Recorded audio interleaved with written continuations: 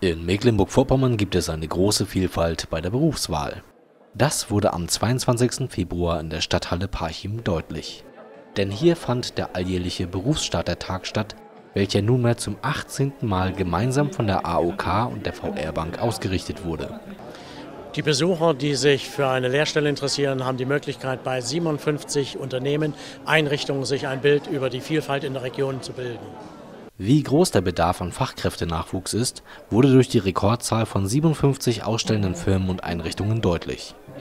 Im direkten Gespräch mit potenziellen Ausbildungsbetrieben konnten sich interessierte Besucher von der Lehre bis hin zum dualen Studium verschiedenste Möglichkeiten aufzeigen lassen, ihre Ziele zu erreichen. Die Stadthalle Parchim hielt dieses Jahr zum ersten Mal für den Berufsstartertag her und erwies sich als idealer Veranstaltungsort Drei Stunden lang standen die Ansprechpartner der Firmen Rede und Antwort. Und hat es sich gelohnt? Ja, ich finde es super. Also ich finde, es ist besser als jemals. Ne? Also so viel waren sonst nie. Wir sind auch auf, auf Ideensuche. Ja, weil es noch, äh, ist noch ein bisschen früh äh, vom Alter her, aber wir wollen einfach mal gucken, was es überhaupt gibt für Berufe. Ja, sehr zufrieden. Ich gucke noch weiter rum, ob es hier noch AOK oder so habe ich gelesen. Ja, sehr, sehr zufrieden sogar.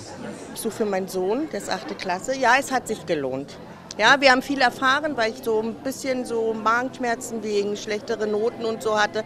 Aber wir wurden eines Besseren belehrt. Na gut, Mutter hat auch gesagt, jetzt geh mal hin. Und ja, hat es was gebracht. Ja, hat sich gelohnt. Also ist auf jeden Fall mehr, wie ich mir vorgestellt habe vorher. Ob Lehrstellensuchende oder Aussteller, profitieren konnten alle Anwesenden den größten Nutzen haben die sich darstellenden Firmen und natürlich schwerpunktmäßig, wie auch die Ausrichtung ist, die zukünftigen Berufsstarter. Die, die hier in der Region ihren zukünftigen Lebensmittelpunkt gestalten wollen und behalten wollen.